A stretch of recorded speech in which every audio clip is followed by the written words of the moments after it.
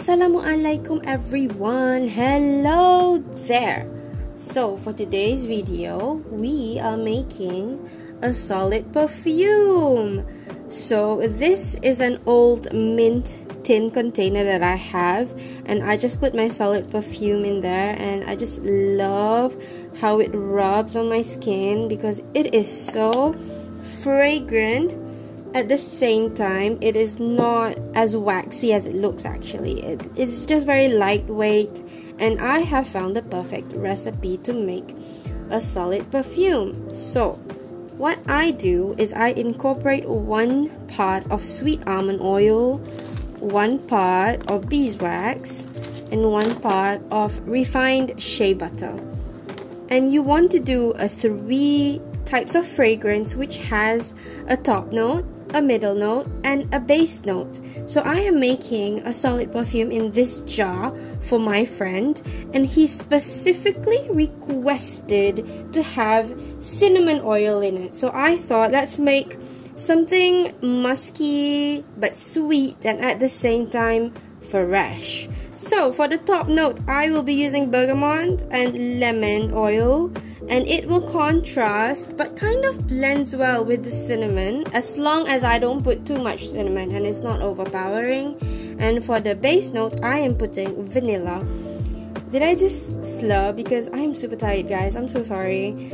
I am putting vanilla as the base note and it is just the perfect ending because it is so silky and calming and relaxing. So for the first hit and whiff of the perfume, you will get something fresh and floral, and then you get a very musky kind of scent to it, and then you finish off with something very relaxing. I want to do, I think for this one, it will fit maybe two and a half of teaspoons of each. So remember, it's one part of each, okay?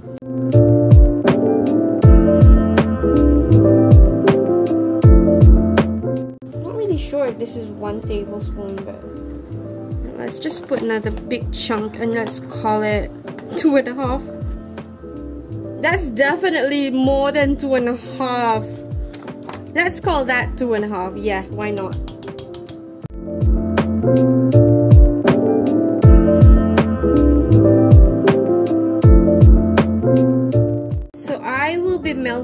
This on a double boiler. You can also do it in a microwave if you're very lazy to just get the double boiler on because you just need heat to melt all this down but if you do do it in a microwave remember to do it in a 30 second burst and then stir it around and then do another 30 second burst because you don't want to overheat the beeswax and you know it can cause a very big fire hazard can just this thing can just explode and you don't want that. That's very dangerous. It's very unpleasant to clean up. It's very annoying. So you i i will just reheat this on a double boiler for maybe around 15 minutes or i think even less because the last time i made it it didn't take that long. So let's just see.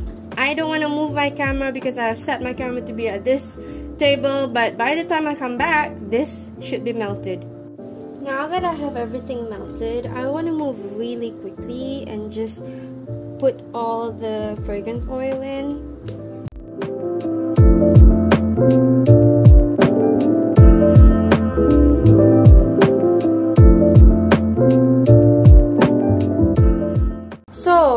mix all the fragrance oil and I want to get my jar. Is that in the camera? Is that in the shot? Yeah, we good? Okay, let's do it.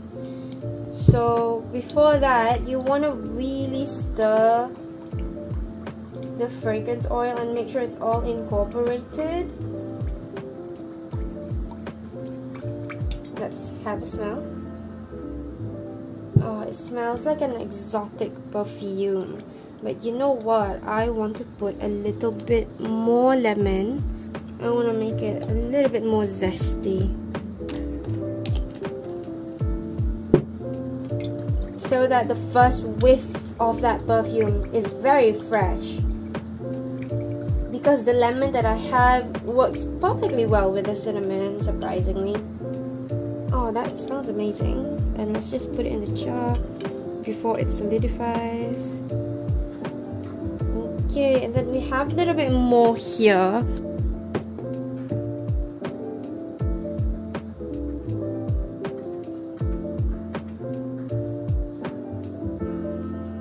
So we'll just leave this here for maybe one to two hours and after that we can test it. Yay! So excited. So the solid perfume is setting up beautifully but if you see there is a divot in the center that usually happens with balms that you make at home but that's not a problem what you do is just get a heat gun turn it on and just kind of go over it